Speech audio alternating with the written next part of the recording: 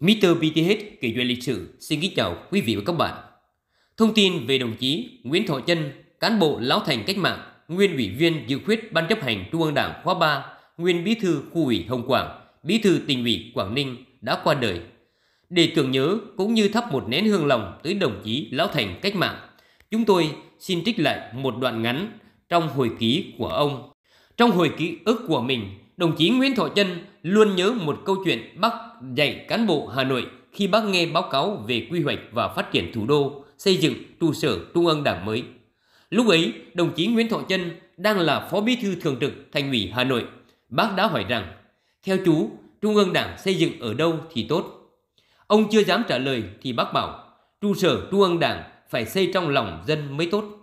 Câu nói của bác là bài học giáo dục sâu sắc cho đội ngũ cán bộ như ông về tinh thần tự rèn luyện, cống hiến và tinh thần lấy dân làm gốc, phải luôn gắn bó máu thịt, liên hệ mật thiết với nhân dân.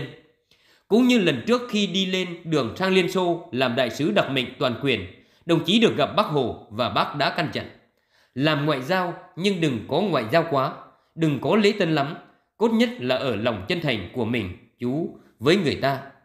Chú làm ngoại giao phải tranh thủ được bạn bè. Vâng lời bác dạy, đồng chí Nguyễn Thọ Chân đã làm công tác ngoại giao thành công, vận động các bạn bè quốc tế cùng xuống đường đấu tranh cho hòa bình thống nhất ở Việt Nam. Với đồng chí Nguyễn Thọ Chân đã sống là luôn lao động và cống hiến. Nguyên bí thư tỉnh ủy Quảng Ninh luôn tự nhận rằng bản thân sống được đến ngày hôm nay trong không khí hòa bình là nhờ vào công ơn của Đảng, suốt đời học tập Bác Hồ. Ví von bài học dành cho mỗi người bằng hình ảnh phân số, đồng chí phân tích. Giá trị con người giống như một phân số, tử số là giá trị nhân dân đánh giá, mẫu số là anh tự đánh giá mình. Nếu dân đánh giá anh được 10, anh tự đánh giá cũng được 10 thì giá trị của anh là một. Nếu dân đánh giá anh là 10 mà anh tự đánh giá mình là 100 thì giá trị của anh chỉ còn 0,1. Thế thì anh phải xem lại mình. Đồng chí kể rằng trong kháng chiến, ông có 3 lần thoát chết là nhờ đồng chí đồng đội. Lần thứ nhất khi bị đẩy ra quân đảo do thiếu ăn, làm nhiều và bị tra tấn, đồng chí ôm nặng, nằm liệt một chỗ. Quản giáo nhà tù tưởng đồng chí đã chết, liền cho lính vứt ra nhà xác. May mắn có người bạn tù vốn là y tá đã phát hiện ông còn sống, đã tiêm thuốc và báo cáo quản giáo đưa ông ra. Lần thứ hai là khi ra Việt Bắc đang nói chuyện với Tổng Bí thư Trường Chinh thì bất ngờ ông gục xuống bàn. Biết ông bị sốc ác tính, Tổng Bí thư Trường Chinh cho người cáng mấy chục cây số đường rừng đến trạm xá kịp thời. Dù tình trạng của ông rất nặng nhưng đã được các bác sĩ cứu sống.